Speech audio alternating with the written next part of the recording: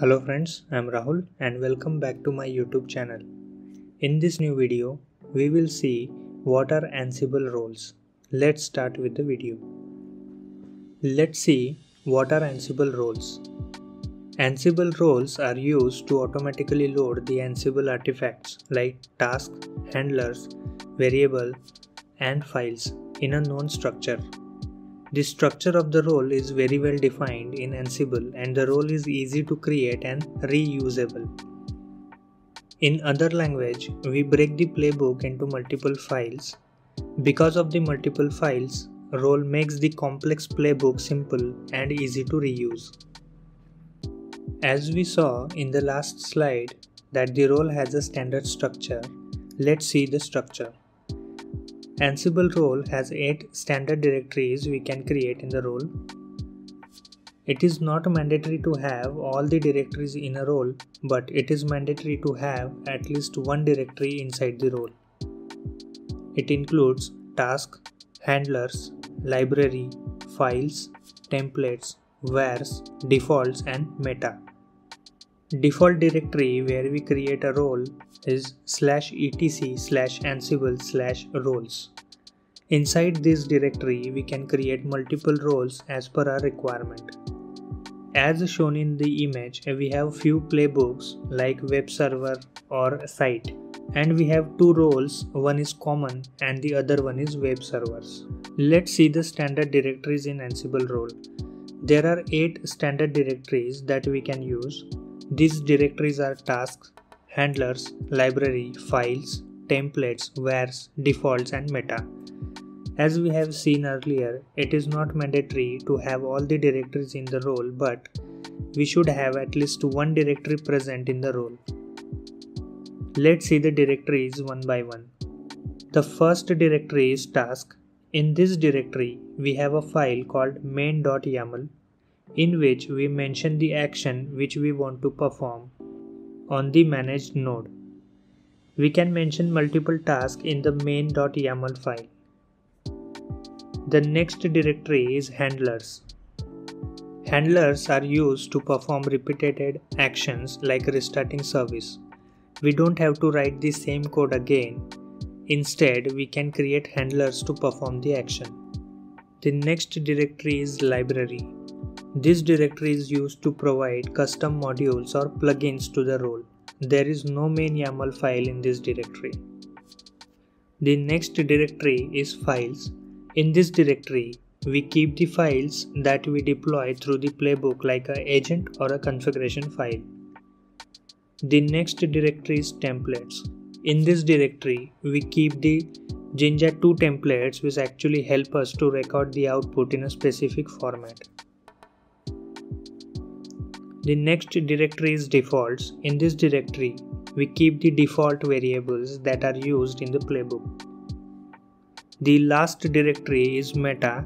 In this directory, the metadata of the role is stored along with the role dependencies. Let's see how to create Ansible role. We can create a role using Ansible Galaxy init command. We need to run the following command ansible-galaxy init and then we have to mention the role name. This command will create the basic structure of the Ansible role. It creates the 8 directories which we have seen in the last slide. Let's see how to use Ansible roles. We can mention the role in the playbook under roles section. As shown in the image, we have added common and web servers roles under roles section. Let's see the demo. Let's go to slash etc slash ansible slash roles and we'll check if the roles directory is already present or not.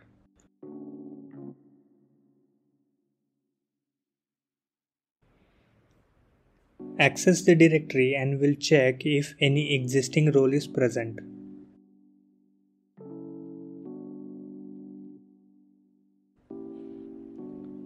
so no role is present. We will create a new role using the ansible-galaxy init command. Role name will be a web server.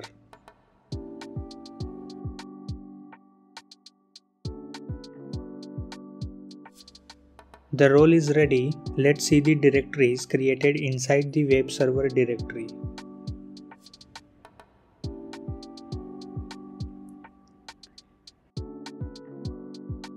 Check the directories, defaults, files, handlers. In the file directory, we store the file which we deploy using the playbook. Meta, readme file, tasks, templates, tests. In templates, we store the Jinja 2 templates. We will see the templates in the upcoming videos. The last directory is vars. Let's check by running the tree command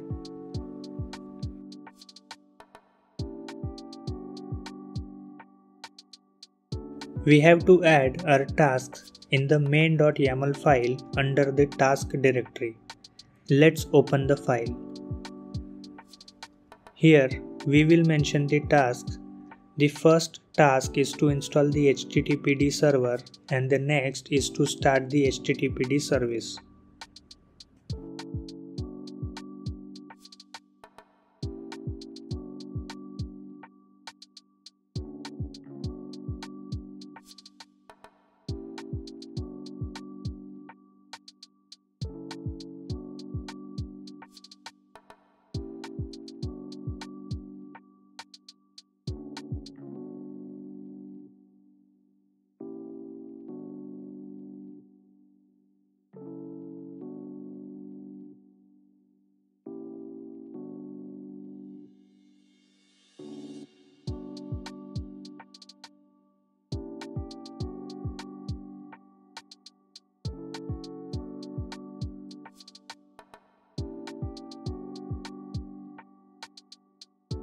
Let's create a playbook. Go to the main directory. We will create a file as webserver.yaml.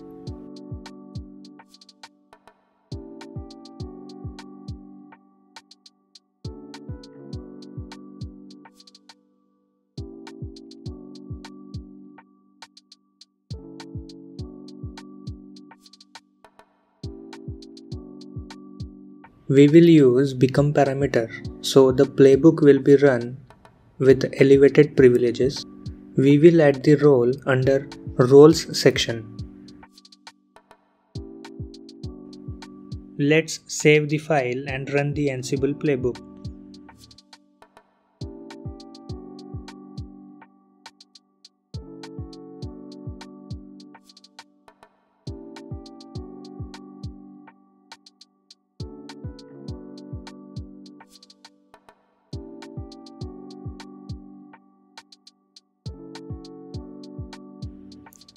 Wrong password. Let's uh, rerun it.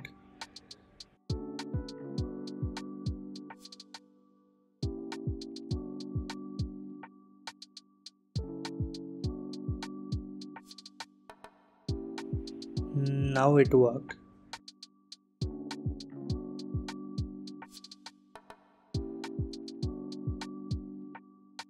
Let's check the service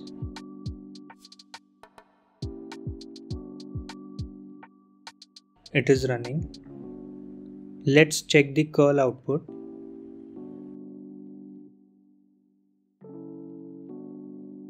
It is also working fine. Thanks for watching the video. Please like, share and subscribe to my channel to watch more Ansible related videos.